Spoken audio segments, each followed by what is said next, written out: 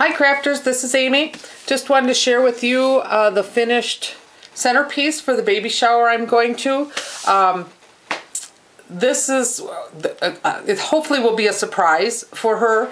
Uh, we're going out uh, as we do periodically with the office, um, just for some hors d'oeuvres and you know camaraderie. And but this this one is going to be her baby shower. She's due in uh, about a month, and so I did do a video on how I made these two by two boxes out of, with the Martha Stewart scoreboard. Um, the entire thing I used the same paper pack, the rustic pack um, die cuts with a view.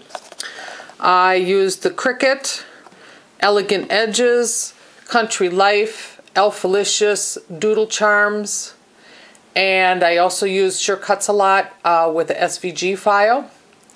Uh, Martha Stewart Punch I used distress markers, uh, dimensionals, little buttons. Um, I think that was all the all these little silk flowers here. These little they're paper flowers. Um, and some other things that I've gotten in um, swaps and things that I'm not exactly sure where they're from. They're little laces and um, things. So okay, first of all, okay, right away. This is Elfalicious and Elegant Edges.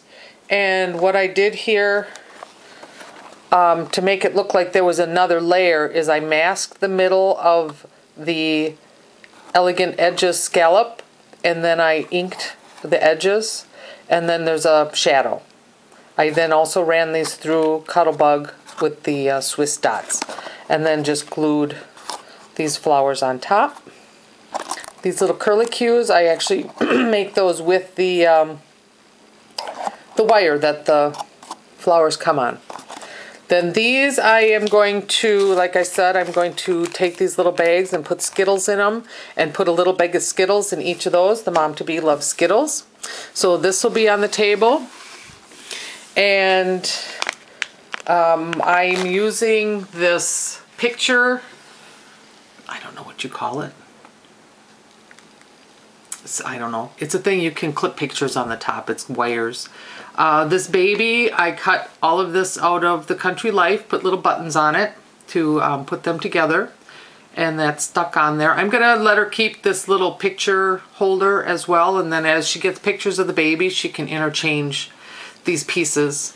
Um, so I, I made this so that it is two-sided. So no matter where you are at the table, um, both sides of everything is decorated. So one side is a little boy side. So here's the little boy onesie. And the onesie is what I cut out of the Sure Cuts a Lot. And then the little boy carriage has the, the train on it. And a little more simple because, you know, little boys. And the little charm. Um, then I made these uh, bottles. And this has a little charm on it. This has a little high chair charm. So that's the boy side. Oh, and then you can see the other side of the girl, and you can see, you know, I decorated both sides. Then the girl side, the carriage is just a little more frilly. It has flowers and things on it. Uh, this one has a charm. Oh, it's a little baby carriage on there. And you can see the little boy onesie, and then the uh, little girl onesie. The little lace. So this is what I'm going to pop out on the table. And we're going to say surprise. So if you have any questions, let me know.